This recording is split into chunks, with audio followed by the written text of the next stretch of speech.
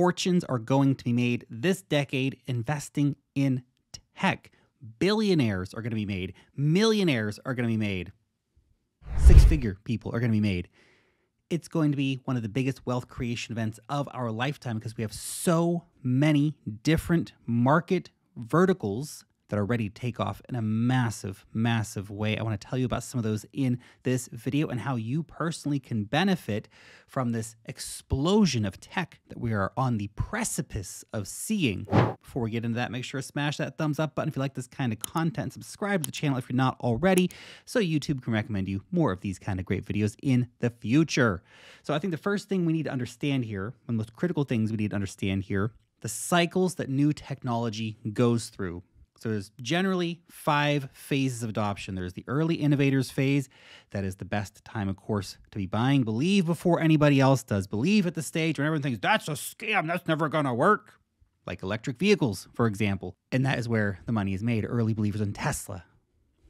Phase two, early adopters. Still okay to buy in this area. Still a lot of great gains to be had in this area. You could argue, for example, this is where Bitcoin is right now, still the early adopters phase.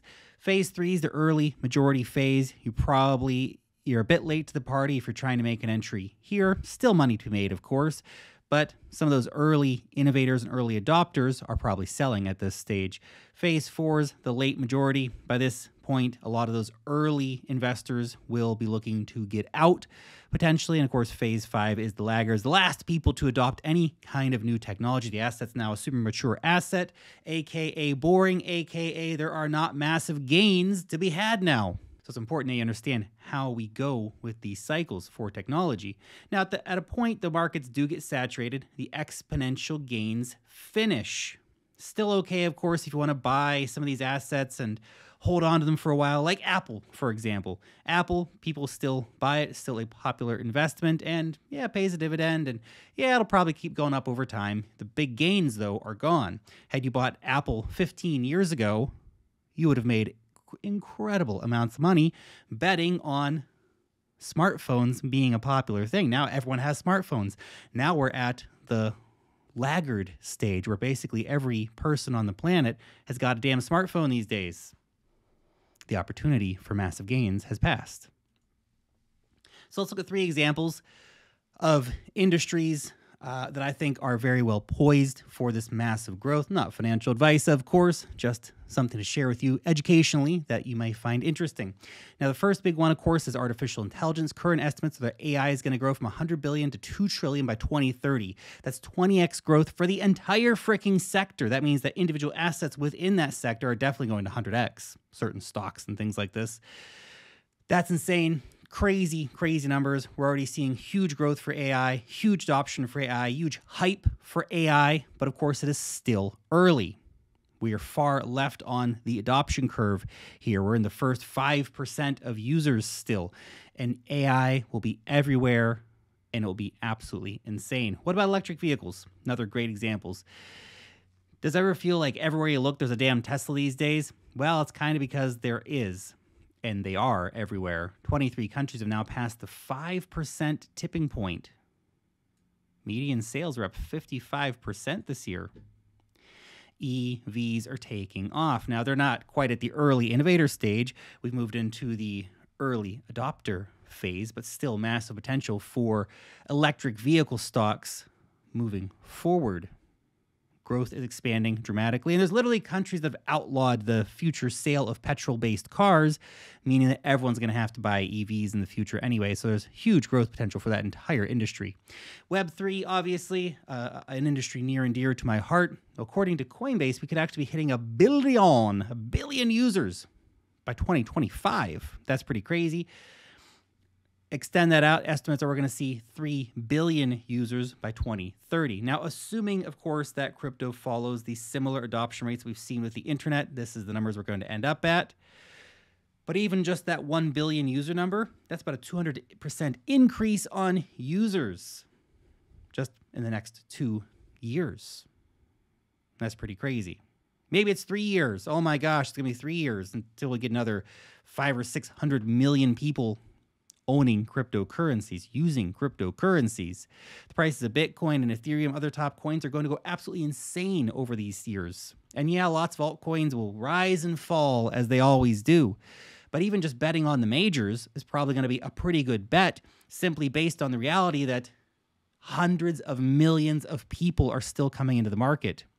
And by the end of the decade, most people can't think that far ahead. Being able to think five to 10 years ahead in the Web3 space, the crypto space, feels like a superpower sometimes because most people want to get rich tomorrow or next week at the latest. If you can think five, 10 years down the line, you stand a great chance of putting in some really generational wealth building gains. By the way, speaking of crypto, I run a fantastic newsletter I'd like to tell you about. It's freaking amazing. It's called Wealth Mastery. My team and I spend about 40 hours every single week putting this thing together for you to read for free. About 75,000 people a week are reading this newsletter.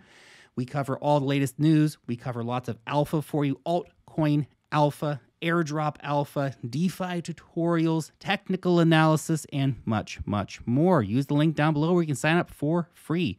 Now, why is all this fun stuff happening?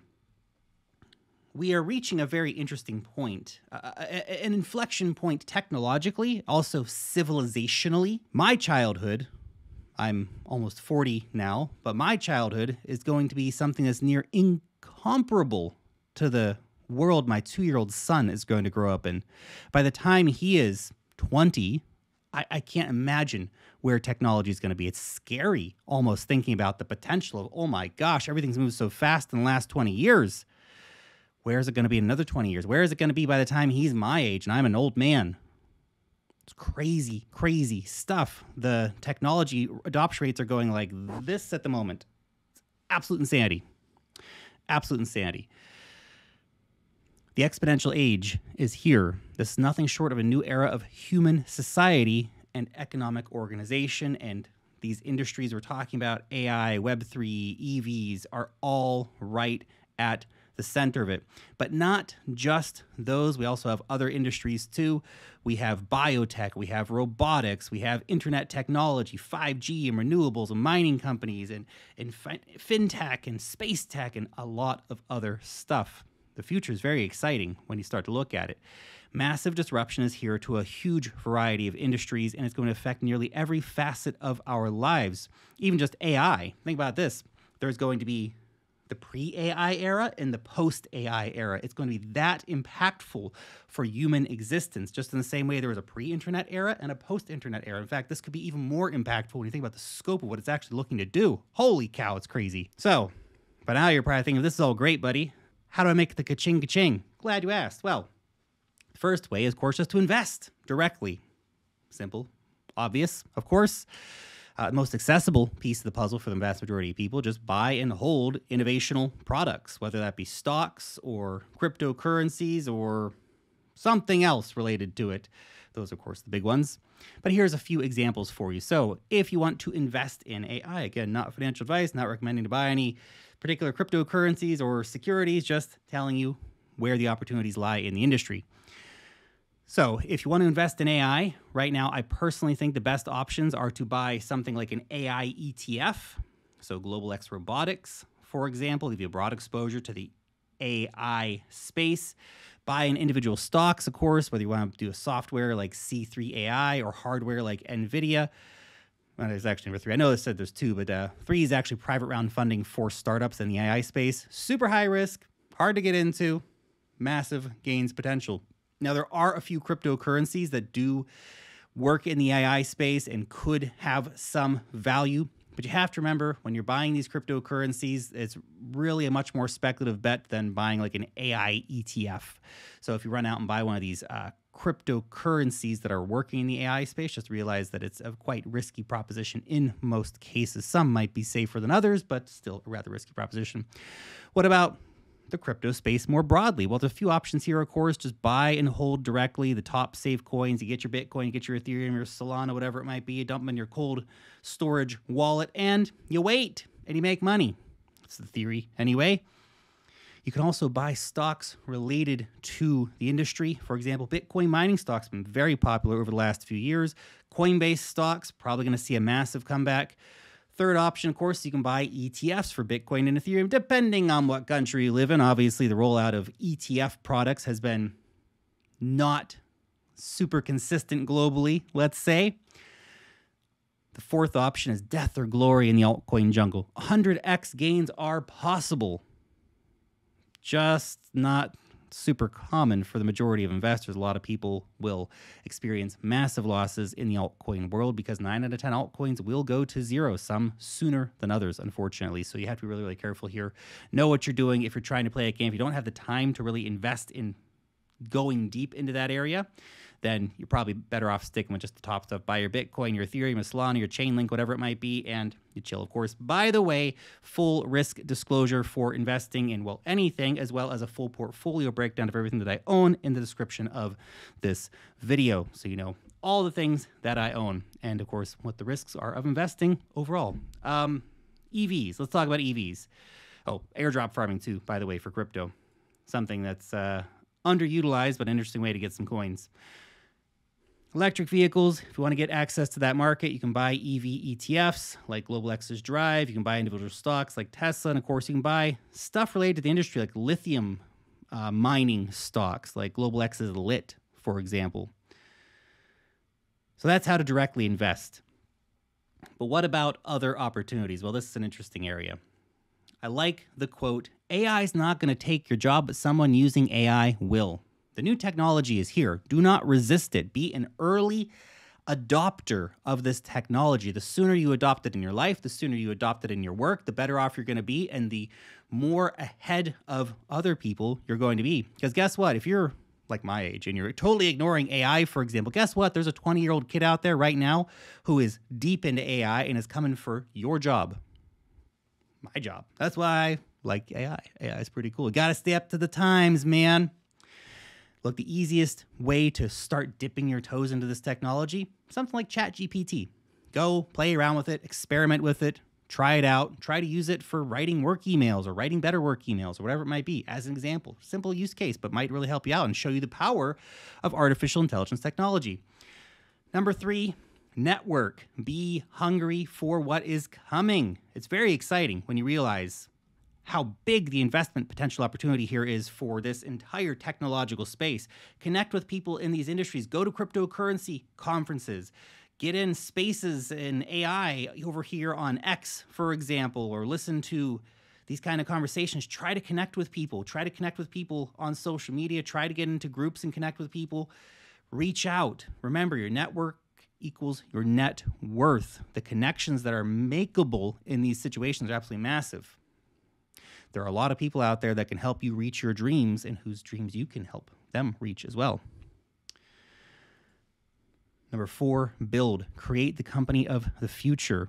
Maybe that's not an option for everybody. I might be honest about that. Entrepreneurship is uh, a pain in the ass. Let's keep it real. But it does blow my mind just how hard and how fast AI content creators have grown this year. Like if you looked back to January or December when ChatGPT was just starting, if you had gone all in on creating AI content, the growth potential was massive.